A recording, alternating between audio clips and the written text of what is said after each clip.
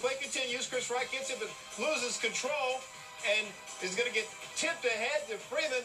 It says, yo, Monroe, lay it in, kid. Hoyas up three. 5.5 seconds left. Here we go. Inbound for Kemba Walker. Left sideline Robinson. Floats up a three. Missed it. Rebound. Hoyas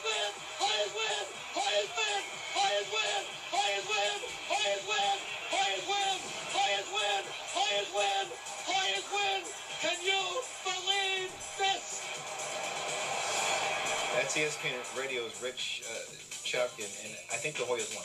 What I can't believe What? The Hoyas how many times he said Hoyer. You're right. Can we rewind that, please, so we can count it? We should have had a counter up. That would have been kind of cool. 76. Uh, Austin Freeman single-handedly down Connecticut in the second half and reached that career high 33. His 28 second half points, one shy of Connecticut's total, and he was more efficient from the floor than the entire Huskies team in the second half.